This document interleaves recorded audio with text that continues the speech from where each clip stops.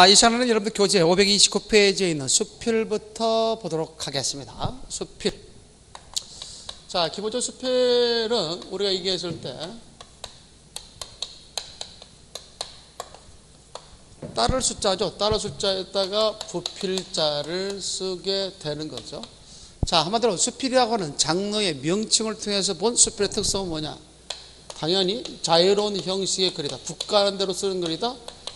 자유로운 형식의 글이다라고 하는 것을 엿볼 수 있습니다.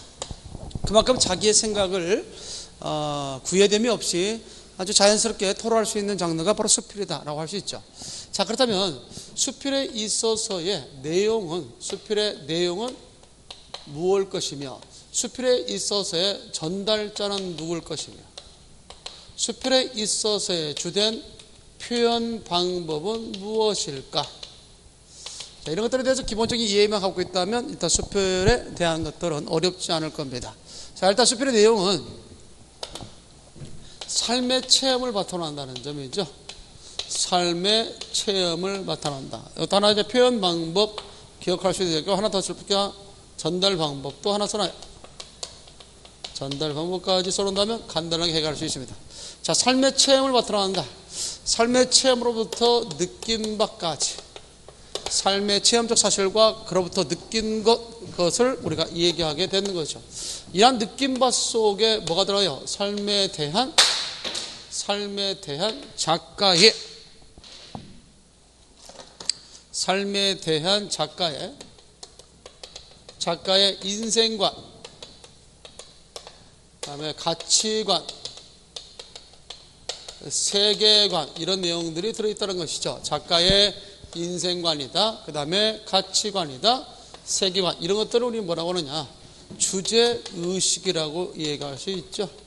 아, 그렇기 때문에 시험 문제 가운데 수필에 있어서 가장 중요한 것 중에 하나가 바로 주제이기 때문에 바로 이런 삶의 체험적인 사실을 통해서 그가 느낀 바가 얘기하는 게 뭐냐, 느낀 바, 이야기하고 싶은 게 뭐냐, 이런 것들이 이제 주제로 연결되는 거고, 수필에서 전달자는 다른 장르와는 달리 전달자가 작가 자신이라는 점이죠. 작가 자신이라는 점에서 공통점이 있다는 것이고, 표현 반복과 관련돼서는 여러 가지일 수 있겠죠. 표현 반복과 관련돼서는 서술과 그 다음에 뭐가 있다는 점이 나왔지? 묘사와 더불어서 가장 대표적으로 연결될 수 있는 것이 유추가 있습니다. 대체적으로 친숙한 비유를 들어서 추상적이고 무한 내용을 좀 더 더 쉽게 설명하는 방식이 유추 방식이죠. 전달 방법은 뭐냐? 자기 고백적이죠. 자기 고백적이다. 그래서 대체적으로 우리가 이야기할 수 있는 것 중에 하나가 작가와 그 다음에 독자와의 관계.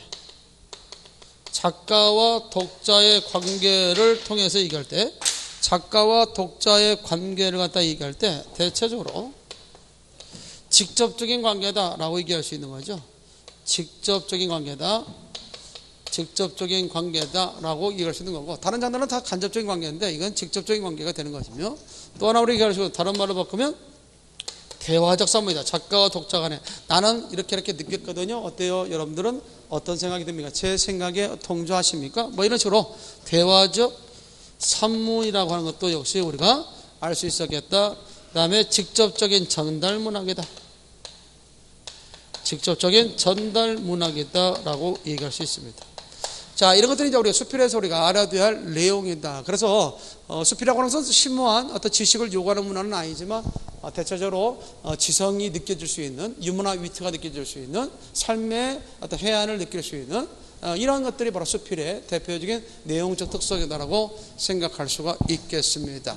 그래서 수필이라고 하는 것을 통해서 우리가 제시하실 때 가장 대표적인 것도 하나 제시한다면 수필의 팁과 관련돼서 하나 제시하면 수필에서 말이죠. 수필에서 어떤 식물을 수필에서 어떤 식물이나 동물, 식물이나 동물을 애찬하는 내용이 나오면 식물이나 동물을 애찬하는 내용이 나오면 대체적으로 이것은 인간에 대한 비판이라는 점.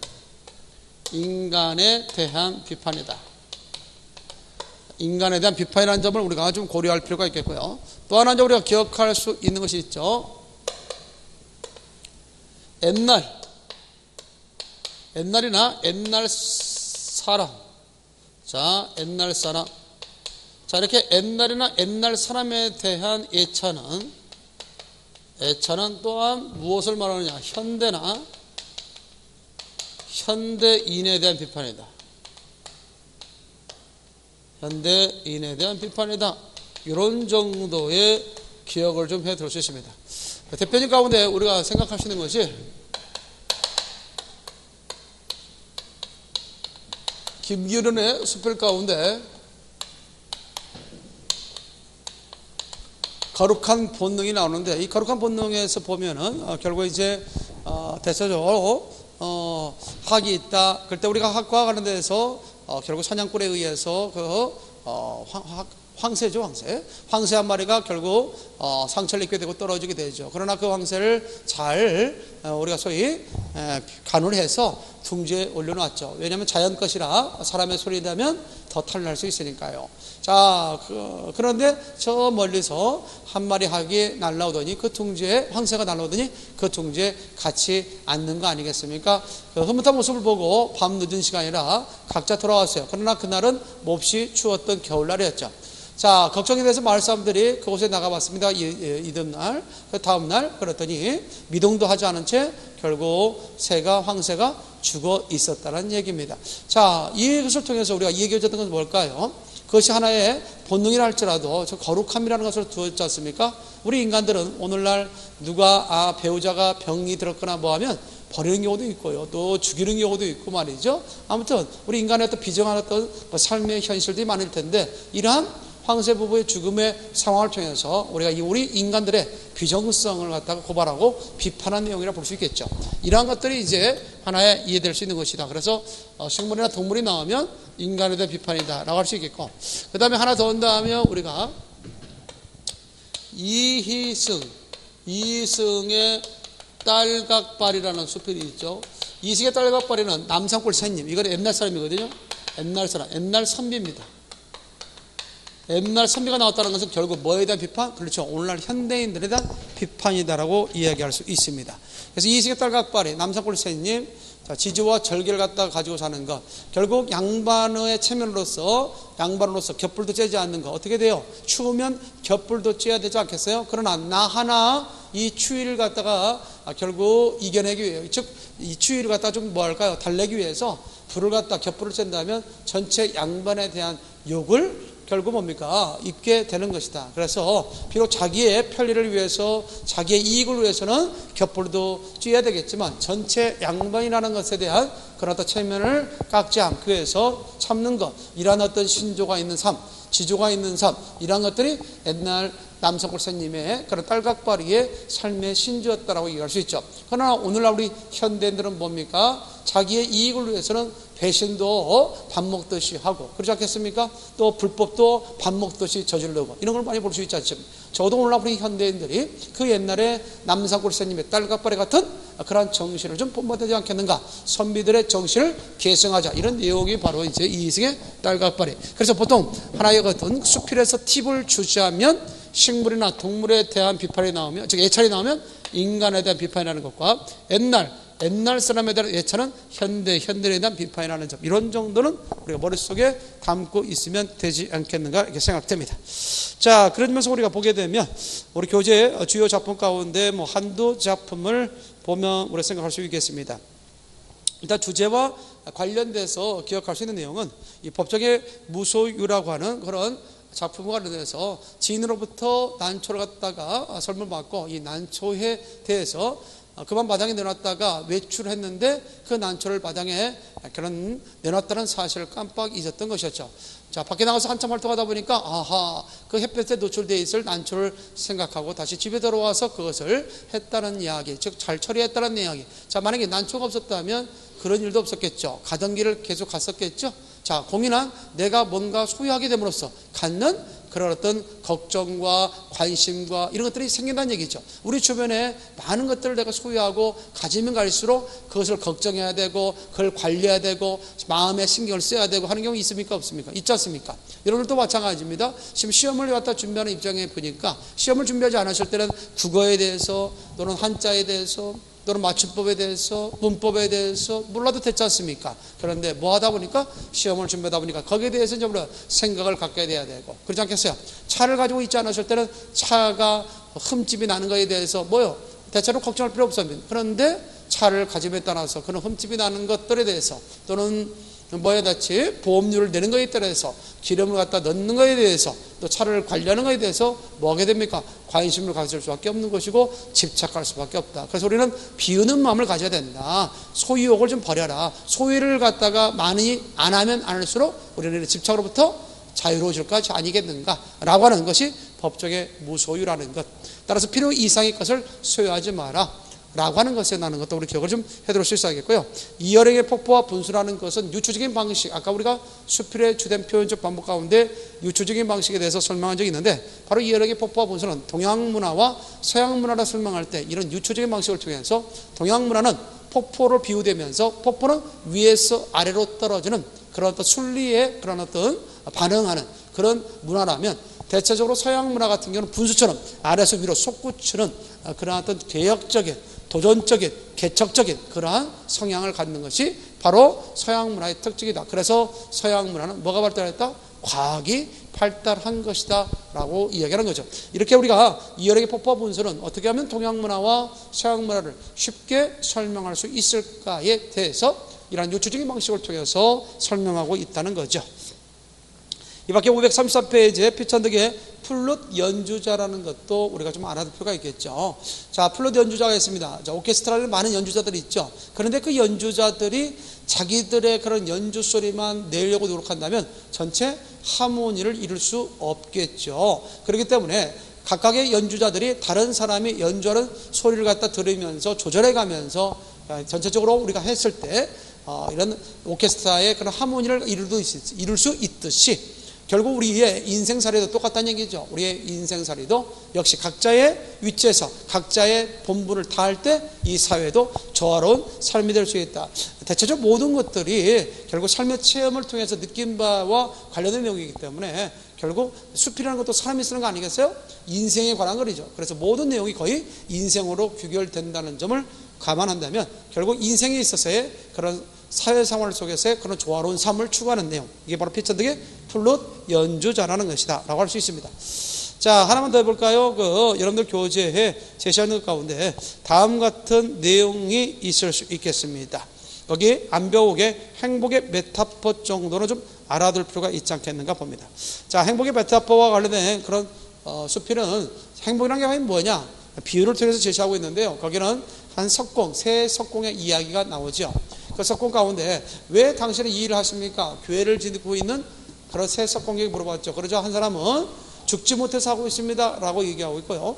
두 번째 석공은 돈을 벌기 위해서 하고 있습니다. 라고 했고요. 세 번째 석공은 하신께 영광을 돌리기 위해서 한다라고 이야기하고 있습니다. 뭐 그런 점에서 이 앙벽의 행복의 메타포, 행복의 메타포에 있어서 어떤 사람이 여러분들은 그렇다면 가장 행복한 사람으로 알겠습니까? 그렇죠. 당연히 아, 신께 영광을 돌리기 위해서 한다라고 말하는 사람이 가장 대표적으로 행복한 사람이라고 그럴 수 있죠. 매사에 자기 일에 보람을 느끼고 그 일을 갖다가 해 나가는 사람. 뭐 그런 점에서 여러분들도 역시 수험생으로서의 지금의 삶에 있어서 상당히 힘들고 어려울지라도 그 삶을 뭐라고 해요? 신께 영광을 돌리기 위해서 한다면 지금의 어떤 고난도 아마 고난으로 여기지 않고 아마 보람으로 기쁨으로 여기지 않을까 생각됩니다. 자, 행복의 메타포. 일단 수필의 메커니즘은 이렇다는 것. 자유로운 형식의 글이다. 내용은 삶의 그런 체험. 그렇기 때문에 삶의 체험.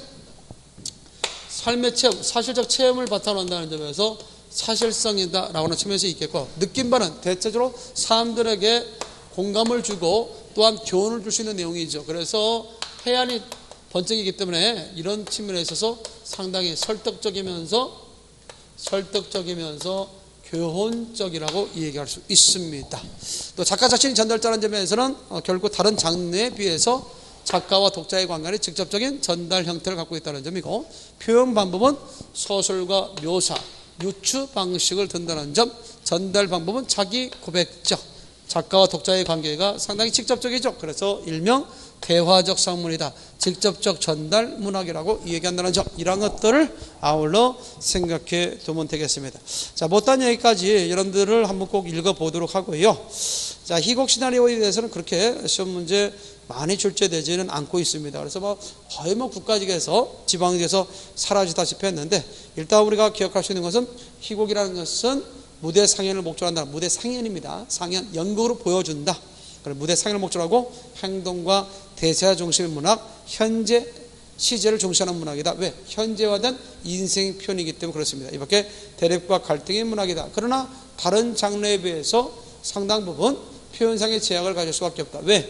무대 상연이라고 하는 그런 어떤 그 제약을 두고 있기 때문에 그런 점에서 많은 제약이 있고요. 또한 소설에 비해서 희곡은 많은 제약을 갖고 있죠. 왜요? 그건 서술자가 없기 때문에 그렇다. 그러면서 여러분들 밑에 희곡과 소설에 대해 비교표 해놨으니까 좀 기억을 해두시고 특별히 희곡의 3요소는 해설, 지문, 대사. 희곡의 구성의 3요소가 해설, 지문, 대사고 희곡의 3요소, 즉 다시 말해서 연극의 3요소라고 얘기했던 희곡 배우 관객이 있다는 것.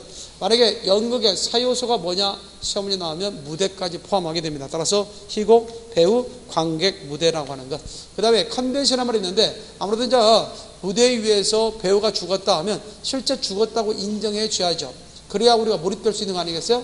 그런 것들을 우리는 컨벤션이다 할 수 있는 거고 만약에 A라는 배우와 B라는 배우가 무대 위에 있는데 A라는 배우가 우리 관객들에게 뭔 말을 건넬 때가 있어요. 그런데 B라는 배우는 그것을 못 들었다.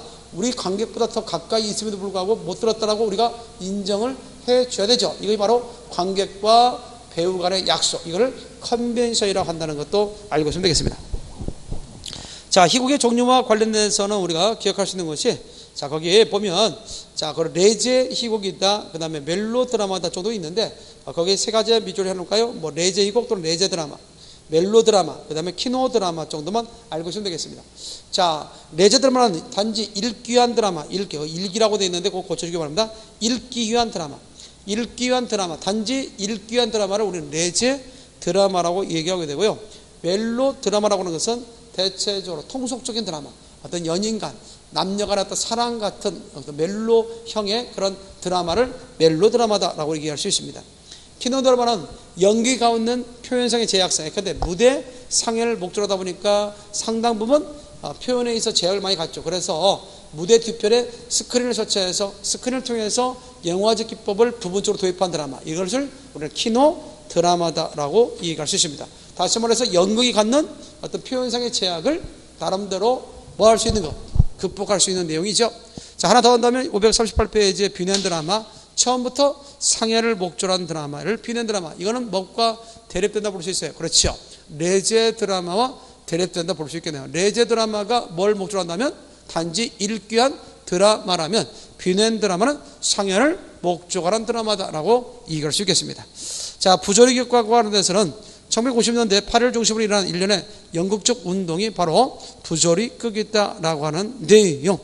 그래서 인간의 숙명적 고독과 인간의 해체, 작품 주제에 초점을 맞추는 특징을 갖는 드라마. 그래서 오늘날 현대인에서의 대체적으로 부조리극은 현대인의 그런 의미 없고 무기력한 삶의 모습을 보여주는 드라마가 대체로 부조리극이다라고 얘기할 수 있습니다. 우리나라 대표적인 작품은 이근삼의 원고지가 있다는 정도만 알아두면 되겠고요. 자, 시나리오 같은 경우는 스크린 상영을 목적으로 하죠. 스크린 상영을 목적으로 한다. 이것과 시나리오에 있어서의 기본적인 이해를 해두면 되겠잖아요. 시나리오. 시나리오는 스크린 상영을 목적으로 한다. 상영. 스크린 상영. 그래서 영상으로 보여주는 것을 상영이라고 하죠. 그래서 상영이라는 말과 상연이라는 말을 우리 구분해서 좀 기억을 해둘 수 있어야 겠다. 그래서 스크린 상영을 목적으로 한다는 것. 그러면서 거기에 뒤에 시나리오의 특수 용어에 대해서 기억해 둬야 돼요. 연극에 비해서 시나리오가 표현상의 제약을 덜 받는 이유는 기계적인 조작 효과를 갖기 때문이죠. 기계적 조작 효과를 갖기 때문에 단지 우리가 읽어서 이해가 안 되는 부분들이 많아요. 이 특수 용어에 대한 이해가 있어야 되기 때문에 그래서 혹시라도 시험역 가운데 시나리오와 희곡 가운데 어느 것이 더 문학성이 더 짙냐 그러면 희곡이 시나리오보다 문학성이 짙다. 왜 그래요? 시나리오는 기계적인 조작 효과를 갖기 때문에 기계적인 용어에 대한 이해가 없으면 전반적인 내용에 대해서 이야기가 또는 그 대체적으로 어떤 그 뭐랄까요? 그런 내용적 이해하는데 상당히 어려울 수가 있습니다. 뭐 그런 점에서 문학적인 측면의 성질은 누가 더 강하다? 희곡이 강하다. 그래서 그 밑에 시나리오와 희곡의 비교표를 보니까 제일 끝에 문학적 도사성이 시나리오는 약한 반면에 희곡은 문학적 독자성이 강하다라고 제시한 거죠. 자, 그러면서 시나리오의 특수 용어에 대한 것들, 뭐 자주 나오는 건 아니지만 그래도 한두 가지 좀 알고 넘어가기 바랍니다. 거기에 자, 신 넘버 나왔다 무조건 이것이 시나리오라는 사실을 알아도 되고 페이드인 점점 화면이 밝아지는 것이 페이드인이고 페이드 아웃은 점점 화면이 어두워지는 걸 말하죠. 따라서 페이드 인에서 페이드 아웃까지를 한 사건의 국면을 점에서 이것을 시퀀스라고 이야기하게 됩니다. 자, 이 밖에 오버랩은 대체로 겹치기 화면이죠. 따라서 시간 경과에 주로 사용된다는 것과 클로즈업, 화면 확대죠. 그래서 대체로 이런 화면 확대를 통해서 사건의 실마리를 갖다가 제시하는 경우가 더 있죠. 그런데 뭐 TV 드라마 같은 데 보면 갑자기 막 벽시계, 예? 어느 형사가 어느 집에 살인했던 현장에 도착했는데 벽에 시계가 있는데 유난히 그 시계를 확대해서 보여줄 때가 있죠. 이런 것들이 바로 뭐가 관련됐다? 그렇죠? 사건에 암시할 때 많이 사용된다는 것. double exposure 이중 노출과 관련돼서 제시할 수 있는 내용이라는 것도 기억되고 있고요. 그래서 이것은 선명하죠. 이중 노출이라고 하는 것은 이렇게 이중 노출이라고 해서 A라는 화면이 있다 그 옆, 앞 뒤에 B라는 화면이 선명하게 나타나는 이것을 이중을 이중 노출 두 화면을 동시에 제시할 수 있는 것을 이중 노출이다라고 이렇게 이야기할 수 있습니다. 참고해 두면 되겠고요. 이 밖에 우리 기억할 수 있는 것은 뭐냐 인서트 삽입 화면이죠. 대체로 삽입 화면을 통해서 아, 시간을 갖다 절약할 수 있죠. 뭐 그래서 우리가 보게 되면 한 사장, 한 사무실인데 한 사람이 막 괴로워하고 있습니다. 막 술병이 다 들고 있습니다. 여기저기 서류처럼 흩어져 있습니다. 왜 그런지 모르죠. 그런데 그때 신문 기사가 하나 딱 끌어들죠. 예, 모모 회사 부도. 아 그렇다면 우리는 인식하게 되죠. 여기에 회사의 사장이고 부도난 사장의 모습이구나. 그리고 나서는 또 화면이 바뀌면서 갑자기 예, 그렇죠. 아, 채무 채권자들이 뭐 쳐들어오게 되죠. 내 돈가 뻐이 떠동마 하면서 이런 떨이 그러니까 상당히 사건을 전개할 때 빠르게 전개할 때 이런 인서트 기법 뭘 우리가 그러죠. 그래서 신문 기사 따위나 사진 따위를 갖다가 이렇게 개입하게 만드는 건 인서트 삽입하면 알아두면 되겠습니다. 자, 그다음에 우리가 기억할 수 있는 것 그 촬영 개시 단계 있죠. 크랭크인 촬영 끝났다 크랭크업이라고 하는 거고 콘티라고 하는 거 있죠. 이거는 바로 대본이죠. 콘티 그래서 현장용 영화 촬영 대본을 콘티라고 하다. 혹시라도 시험 가운데 영화의 대본, 영화의 대본 하면 시나리오입니다. 근데 영화 촬영 대본 하면 콘티라고 하는 사실도 알고 있으면 되겠다. 자, 여기까지 해서 우리 현대문학에 대한 전반적인 이야기를 마치게 됐습니다. 자, 그 뒤에 우리가 얘기할 수 있는 많은 문제들을 제시하고 있습니다. 그러니까 여러분들이 좀 그런 문제들을 잘 풀어볼 수 있도록 그렇게 하시면 되겠고요. 어, 특히 이제 우리 기억할 수 있는 내용 가운데 보게 되면 예를 들어서 단 하나의 어떤 내용들, 측면들, 그 뒤에 한번 수필 부분 보도록 한번 해볼까요? 뭐 앞서 우리가 소설 관련돼서는 제시했던 내용들이니까요. 한번 돼. 자, 560페이지에 여러분들 교재 38번.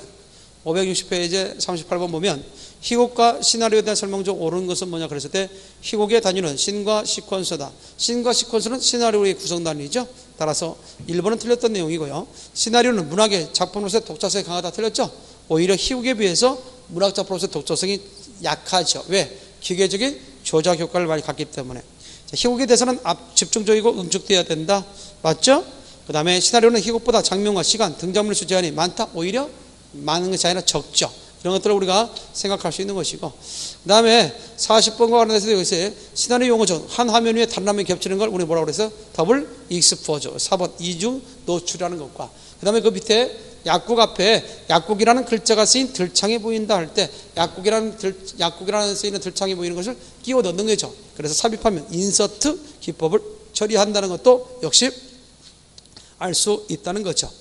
자, 이 밖에 우리가 약간 순서가 바뀌었습니다. 하면은 수필과 아, 관련돼서 제시할 수 있는 내용 가운데 자, 거기 562페이지에 44번 같은 문제 보니까 수필의 원뜻에 기댄 그대 본질적 특성은 뭐냐 할 때 자유로운 형식이 그리다고 했죠. 다른 숫자의 자, 부필자 쓰는 것. 그래서 무형식의 형식 정도가 가장 옳은 답일 것이다 라고 이해할 수 있겠고요. 45번 같은 문제 우리가 잘 알고 있는 피천득의 은전 한입이라는 수필이 실어 있는데 결국 이 글이 수필이 이제 소설로 볼 수 없는 이유, 소설로 볼 수 없는 이유는 결국 수필은 비갈등 중심 문학이라고 했죠. 그렇기 때문에 갈등이 없다는 점. 그런 점에서도 우리가 알 수 있어야 되고 또한 전달자가 작가 자신이라는 점.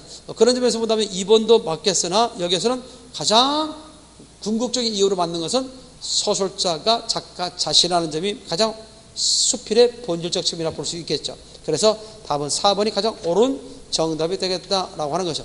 자, 그것들이 상당히 중요한 내용적 요소가 되지 않겠는가 이렇게 보는 거고요. 그 다음에 우리가 대표적으로 시험 문제 출제될 수 있는 것 가운데 하나가 뭘까요? 자, 54번 같은 경우는 뭐냐면 다음 같은 문제죠. 다음 글에 나타난 두드러진 수필의 특징은 금음 따른 요염하여 감히 손을 댈 수 없고 말을 붙일 수 없이 깜찍하게 예쁜 계집 같은 다는 동시에 가슴이 저리고 쓰리도록 가련한다니다. 서산 위에 잠깐 나타났다 숨어버리는 초생딸은 세상을 후려 삼키려는 돋보가 아니면 철모로는 처녀 같은 달이지만 달이지만 금음따는 세상에 가진 풍성을 다 겪고 나중에는 나중에는 무슨 무슨 원한을 품고서 애처롭게 쓰러지는 원부같이 애절하고 애절한 맛이 있다라고 얘기하고 있습니다. 어때요? 전반적으로 봤을 때 달에 대한 어떤 시각은 다분히 작가에 있어서의 주관적인 그런 어떤 시각으로 본 주관적인 어떤 생각이죠. 뭐 그런 점에서 본다면 답은 답변 당연히 2번이라고 할 수 있다라고 볼 수 있는 거죠.